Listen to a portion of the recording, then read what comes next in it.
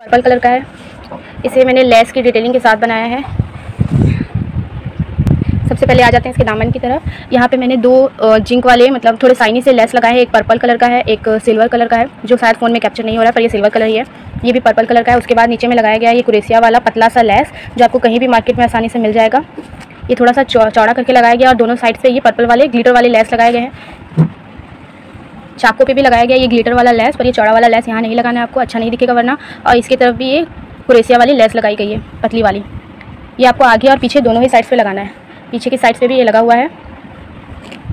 अब आ जाते हैं इसके गले की तरफ़। इसका गला बिल्कुल सिंपल है, राउंड नेक बनाया है इसमें इसमें लगाया मैंने पिंक कलर का नियॉन और लेस लगाया हुआ है, जो बहुत ज़्यादा खूबसूरत है। आपको दिख रहा है।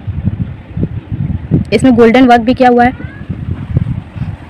इसके स्लीप्स पे आते हैं। ये भी थ्री फोर स्लीव है बेल स्लीप्स के साथ। जिसमें ये जो चाकू पे हमने लगाया हुआ था, कुरेसिया वाला लेस, उसी लेस को हमने स्लीव्स पे भी लगाया गया है, ऐसे राउंड करके। और ये, लेकिन इसके साइड्स पे डोरी है जैसे कि आपको अगर ढीला वीला आ रहा हो तो आप इसे टाइट कर सकते हैं। ये वाइट कुरेसिया वाली लेस थी, जिसे कम्प्लीमेंट करने के लिए मैंने इसमें वाइट डोरी का इस्तेमाल किया गया है। गोल्डन डोरी लगाई हुई है। और ये वाली टेसल वाली लटकन आपको कहीं पर भी मिल जाएगी। ये कपड़े के साथ मैच करने के लिए मैंने लगाया हुआ है। तो इसमें टोटल चार लटकन लगे हुए हैं गोल्डन दो और दो पर्पल कलर के। ये डार्क पर्पल कलर है। अब आते हैं इसके ट्राउज़र की तरफ़। ये इसका ट्राउज़र है। ये पूरा साढ़े चार मीटर का ट्राउज़र है, बहुत ज़्यादा खूबसूरत और लहंगे वाला लुक देता है आपको। मैंने इसे सर्कुलर प्लाजो की तरह काटा है। इसके बॉटम पे हमने लगाया इसे पिंक वही वाला लेस जो नेक पे लगाया गया था। चारों तरफ़ लगाया हुआ है।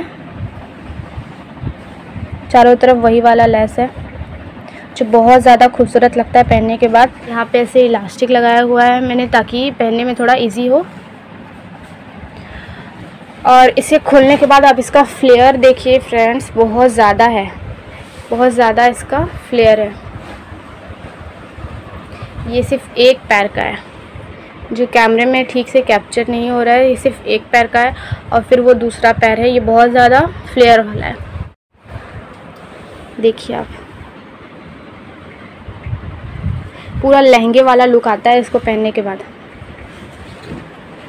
अब आते हैं इसके दुपट्टा की तरफ़। इस पर ये छोटे छोटे गोल्डन कलर के गोल्डन और सिल्वर मिक्स है। इसमें काम किया हुआ है। और ये लेस आपको मार्केट में मिल जाएगा। मैंने चारों तरफ़ इसके लगाए हुए हैं। चारों तरफ़ ये लेस लगाए हुए हैं।